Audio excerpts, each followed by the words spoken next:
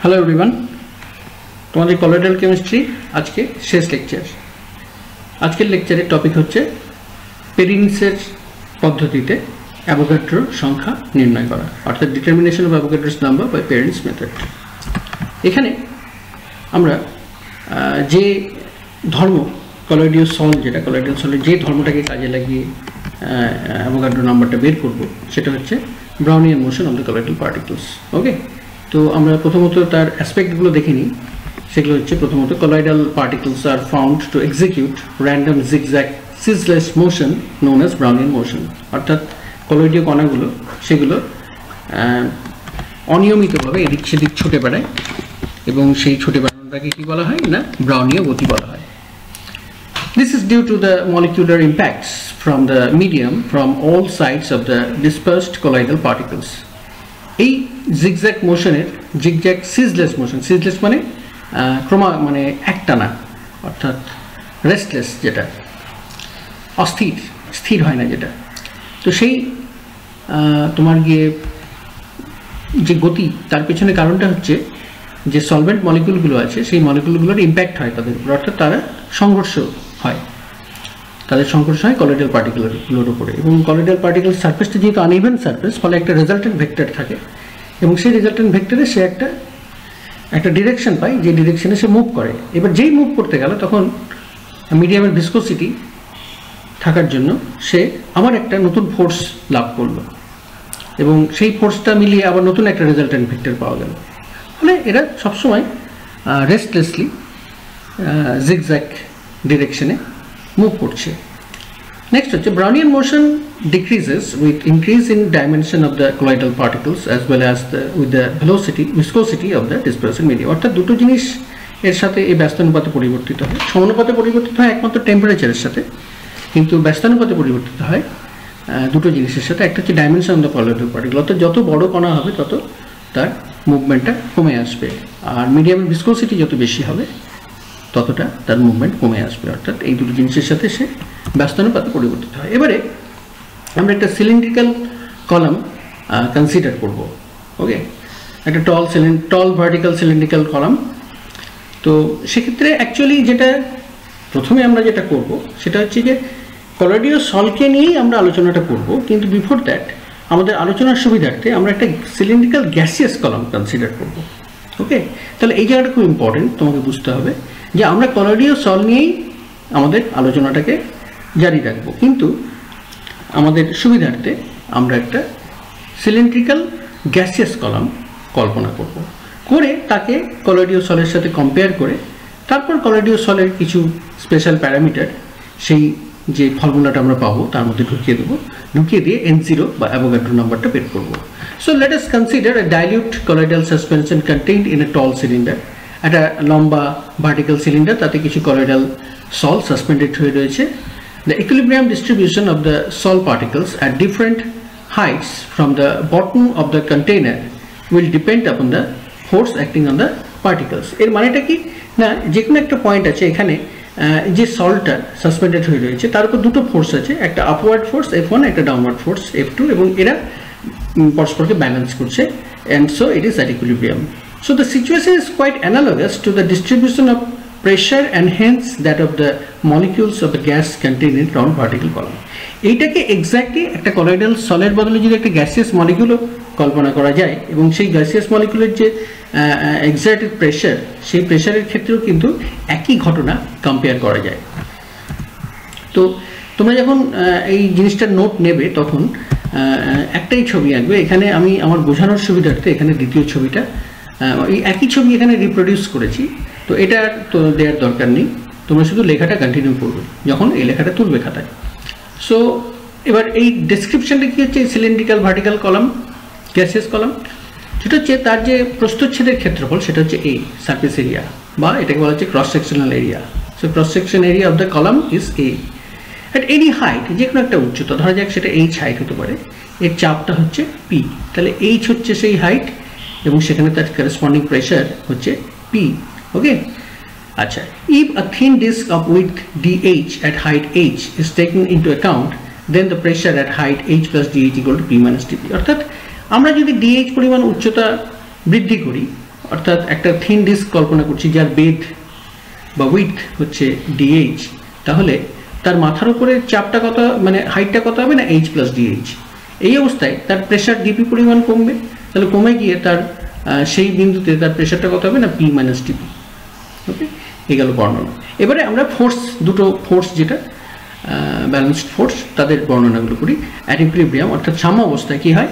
The downward thrust F two নিচের দিকে যে থ্রাস্ট বা ফোর্স সেটা হচ্ছে F two of the gas molecules within the thin disc between height h and h plus h অর্থাৎ এইখানে যে গ্যাস মলিকিউলগুলো রয়েছে, সেটা কোন হাইটে রয়েছে?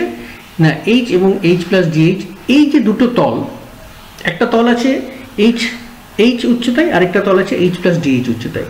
এই দুটো তলের দ্বারা সীমাবদ্ধ যে ডিস্ক সেই ডিস্কের উপর যে নিম্ন অভিমুখের যে চাপ, সেই চাপটা হচ্ছে F two this is counter balance by the upward thrust অর্থাৎ ঊর্ধ্বমুখী যে বল সেই ঊর্ধ্বমুখী বল আচ্ছা আমি এখানে বল একবার বলছি, আবার প্রেশার বলছি। অ্যাকচুয়ালি বল আর প্রেশার একই জিনিস জাস্ট বলকে আমরা যদি ক্ষেত্রফল দিয়ে ভাগ করে দিই, তাহলেই সেটা প্রেশার হয়ে যায়। সুতরাং ডাইমেনশনালি দুটো জিনিস এক হবে। যদি বলি বল তো বল, আর যদি বলি প্রেশার তো প্রেশার ওকে আচ্ছা সেটা নিয়ে কনফিউজ হওয়ার কিছু নেই। তো ওপরের দিকে যে থ্রাস্ট সেখানে থ্রাস্ট কথাটা আমরা ব্যবহার করছি? থ্রাস্ট কথাটা বাংলা অর্থ হচ্ছে ঠেলা। ঠেলা মারা যেটাকে বলে। এবার তুমি ঠেলা মারাটাকে প্রেশার হিসেবে ধরতে পারো, বল হিসেবেও ধরতে পারো। Okay so upward thrust F one অর্থাৎ ওপরের দিকে যে থ্রাস্ট যেটা ওপরের দিকে যে ঠেলা মারা যেটা সেটা F one of the set portion originating from the kinetic motion of the gas molecule এর অরিজিনটা হচ্ছে kinetic motion of the gas আমার কলোইডাল পার্টিকেল হলে সেটা হচ্ছে ব্রাউনিয়ান মোশন এক্ষেত্রে গ্যাস মলিকুলের ক্ষেত্রে kinetic motion of the gas molecules okay তাহলে এই গেল এই টল ভার্টিক্যাল সিলিন্ড্রিক্যাল গ্যাসেস কলমের বর্ণনা. ওকে আচ্ছা। এইবারে আহ, তাহলে এই এফ ওয়ান এবং এফ টুর মান দুটো কত? মান দুটো বের করে করে তাদেরকে ইকুয়েট করে দেবো। তো এফ টু মানে কি? এফ টু মানে হচ্ছে তোমার গিয়ে এইচ রো জি তাই তো? এবং এইচ রো জি যদি তোমার গিয়ে প্রেশার হয়, তাহলে তার সাথে যদি এ কে গুণ করি, তাহলে সেটা বলে পরিণত হবে। সুতরাং আমরা সেখানে এইচ রো জির সাথে ক্ষেত্রফলটাকে গুণ করে দিয়েছি। ফলে কি বলব?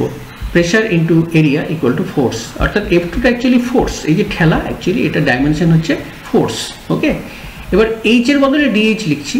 এইচ রো জি আমার ফর্মুলা রোটা ঠিকই আছে ডেন্সিটি অফ দ্য গ্যাস আর জি হচ্ছে গ্র্যাভিটেশনাল অ্যাক্সিলারেশন আর এ হচ্ছে cross sectional area so H rho G অর্থাৎ এক্ষেত্রে ডিএইচ রো জি ওকে আর এফ ওয়ানটা কত?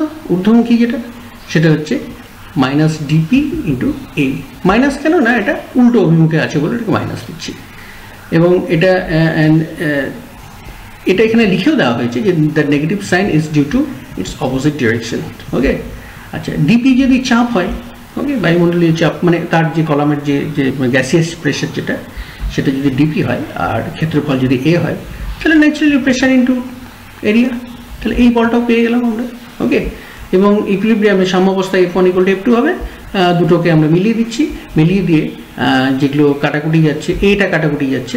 কাটাকুটি যাওয়ার পরে আমরা অ্যাকচুয়ালি এরিয়াটা কাটাকুটি গেল মানে প্রেশার টার্মগুলো পড়ে রইল। তাহলে বাঁ দিকের প্রেশারটা হচ্ছে ডিপি আর ডান দিকের প্রেশারটা হচ্ছে এইচ রো জি তো সেটা আমরা ইকুয়েশন আকারে কীভাবে পেলাম না dp equal to minus rho g dh okay এবারে প্রত্যেকটা গ্যাস মলিকুলের মাস যদি এম হয় আর তার নাম্বার ডেন্সিটি যদি এন হয়, তাহলে রো রো মানে হচ্ছে ডেন্সিটি অফ দ্য গ্যাস সেটা কত হবে? না, একটা গ্যাস মলিকুলের ওজন এম ওকে ভর হচ্ছে এম আর একটা নির্দিষ্ট কি বলব, আয়তনের মধ্যে গ্যাসের অণুর সংখ্যা হচ্ছে এন যেটাকে আমরা বলি number density number of molecules or number of particles per unit volume তাহলে ইউনিট ভলিউমের মধ্যে যদি এন নাম্বার অফ পার্টিকেলস থাকে, আর প্রত্যেকটা পার্টিকেলের ভর যদি এম হয়, তাহলে সেই ইউনিট যে ভলিউম যেটা, তার ওয়েটটা কত হবে? না এম এন হবে। That means the mass per unit volume পাচ্ছি আমরা। দ্যাট মিন্স সেটাই তার ডেন্সিটি তাহলে rho the density of the gas must be m into m okay তাহলে এই রো এর জায়গায় আমরা এম এনকে পুট করব, করে এক নম্বর সমীকরণ পাবো। তাহলে এই যে সমীকরণটা dp equal to minus rho g dh এখানে রো এর বদলে আমরা এম এনকে বসালাম। বসিয়ে এই এক নম্বর সমীকরণটা পেলাম। পাওয়ার পর আমরা কাইনেটিক থিওরি অফ গ্যাস থেকে পাই P equal to one third m n c square bar c equal to r m s velocity okay এটা নিয়ে বলার কিছু নেই, বিস্তারিত। এটা ইকুয়েশন নাম্বার টু এবং equation number two both side যদি ডিফারেন্সিয়েট করা যায়, তাহলে এটা পাওয়া যায়। তোমার গিয়ে ইকুয়েশন নাম্বার থ্রি এবং এখানে এম গ্যাস মলিকুলের যে মাস সেটা কনস্ট্যান্ট সি বার এটা কনস্ট্যান্ট সুতরাং এদের দুজন, এরা দুজন, তোমার গিয়ে ডিফারেন্সিয়েশনের বাইরে থাকছে, শুধুমাত্র এন ডিফারেন্সিয়েশন হচ্ছে নাম্বার ডেন্সিটি আর এদিকে পি এর ডিফারেন্সিয়েশন হচ্ছে। করে আমরা ইকুয়েশন টু থেকে যখন থ্রিতে আসব, তখন একটা টু ফ্যাক্টরকে উপরে এবং নিচে ঢুকিয়ে দেবো।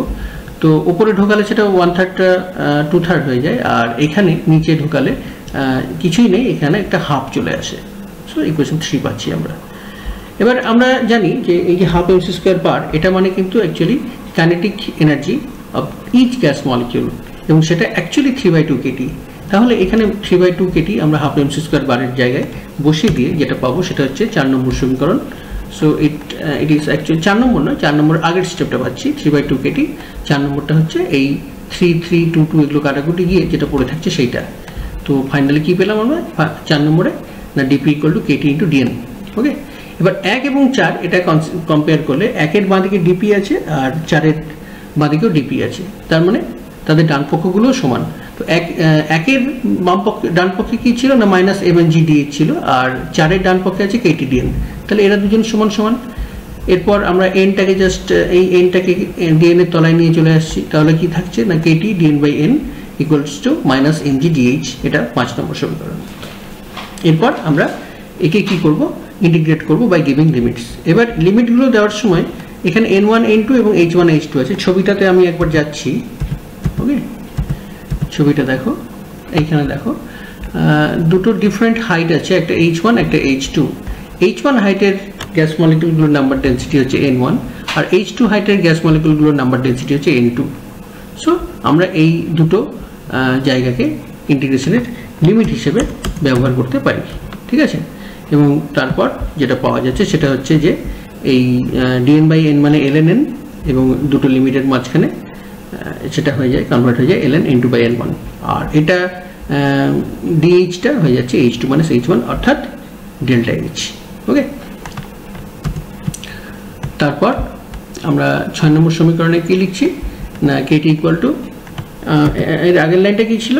এর আগের লাইনটা ছিল KT L N N two by N one equal to minus M G delta H তাহলে এই এন টু বাই এন ওয়ানটা N one by N two হয়ে গিয়ে এই মাইনাস টার্মটা উঠে গেল। ঠিক আছে?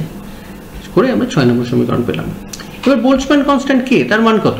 সেটা তো অ্যাকচুয়ালি মলিকুলার গ্যাস কনস্ট্যান্ট আর যদি মোলার গ্যাস কনস্ট্যান্ট হয়, তাহলে কে হচ্ছে মলিকুলার গ্যাস কনস্ট্যান্ট তো এক মোল গ্যাসে এন জিরো সংখ্যক মলিকুল থাকে।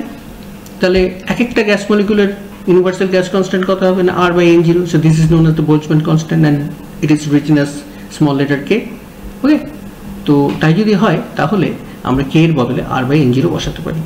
করে এই ছয় নম্বর সমীকরণটাকে এটাতে এটাতে কি করলাম না কে এর বদলে আর বাই এন জিরো বসিয়ে এন জিরোর একটা এক্সপ্রেশন বের করলাম, সেটা হচ্ছে সাত নম্বর সমীকরণ।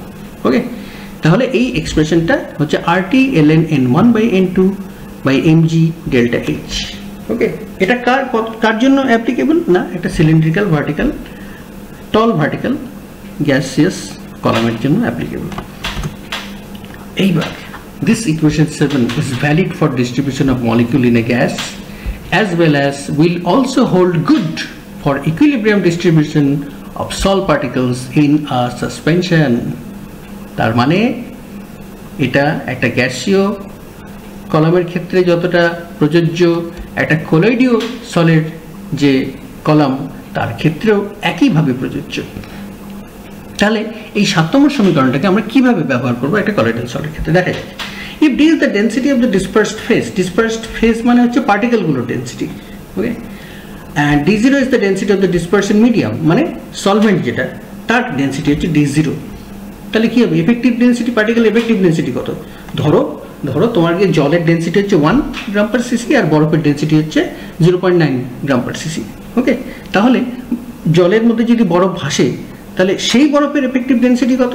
না one minus zero point nine তাহলে এখানে কি হবে? না তোমার গিয়ে সলভেন্টের যে ডেন্সিটি সেটা, এক্ষেত্রে আমরা অবশ্য ডি মাইনাস ডি জিরো করেছি। এই কারণে করেছি যে দ্য ডিসপারশন মিডিয়াম তার থেকে ডিসপার্স ফেজের ডেন্সিটিটা বেশি। সেই কারণে আমরা ডি মাইনাস ডি জিরো করেছি। ওকে এটা এফেক্টিভ ডেন্সিটি হবে। কারণ তারা তুলনামূলক ভারী হয়। ডিসপার্সেন্ট মিডিয়ামের থেকে, ফলে আমরা ডি মাইনাস ডি জিরো করেছি ওকে এখন কথা হচ্ছে এই পার্টিকেলগুলোর ভলিউম কত? ভলিউম জানতে গেলে আমাকে তার রেডিয়াস জানতে হবে। তাহলে রেডিয়াস যদি আর হয়, তাহলে ভলিউম কত? Four by three pi R cube এবং ভলিউম যদি জেনে যায়, এবং ডেন্সিটি যদি জানা থাকে, তাহলে ডেফিনেটলি পার্টিকেলগুলোর মাস জানা থাকবে। সুতরাং আমরা এফেক্টিভ ডেন্সিটির সাহায্য নিয়ে পার্টিকেলগুলোর কি বলব এফেক্টিভ মাসটাকে বের করতে পারব। এই যে মাস এম যেটা, এটা কিন্তু মাস নয়, এটা হচ্ছে এফেক্টিভ মাস অর্থাৎ তোমার গিয়ে ডিসপার্সড ফেজের যে মাস সেখান থেকে ডিসপার্সন মিডিয়ামের একই রকম ভলিউমের যদি কোনো কিছুর একটা মাসকে বাদ দিয়ে দেওয়া যায়, তাহলে যে মাসটা পড়ে থাকে সেইটা। ওকে তাহলে সেটা হচ্ছে তোমার গিয়ে four by three pi R cube D minus D zero isn't it? Four by three pi R cube হচ্ছে? ভলিউম আর মাইনাস ডি জিরো হচ্ছে effective density so this the multiplication of this two factors R the is the mass of each particle কোন particle না colloidal particle which is suspended in the dispersion medium okay তো ব্যাস, এবার apply করে দাও সাত নম্বর সমীকরণে। সাত নম্বর সমীকরণ করে অ্যাপ্লাই করে আমরা আট নম্বর সমীকরণ পাবো ওকে তো সেখানে আমরা জাস্ট এইখানে মাসের জায়গায় এম এর জায়গায় four by three pi R cube D minus D জিরোটা দিলাম, আর বাকি সব এক থাকল। করে এই আট নম্বর সমীকরণ করলাম পেলাম। ঠিক আছে? তাহলে এইভাবে খুব সহজেই একটা কলোইডীয় সল থেকে অ্যাভোগাড্রো সংখ্যা বের করা যায়। সো এটাই হচ্ছে পেরেন্টসের পদ্ধতি বা Perrin's methods of determining Avogadro's number so একটা লং জার্নি শেষ হলো। মোট চোদ্দোটা ক্লাস কোরালের কেমিস্ট্রি শেষ হয়ে গেল। ওকে তাহলে তোমরা সকলে ভালো থেকো। Take care of yourself and wish you all the best thank you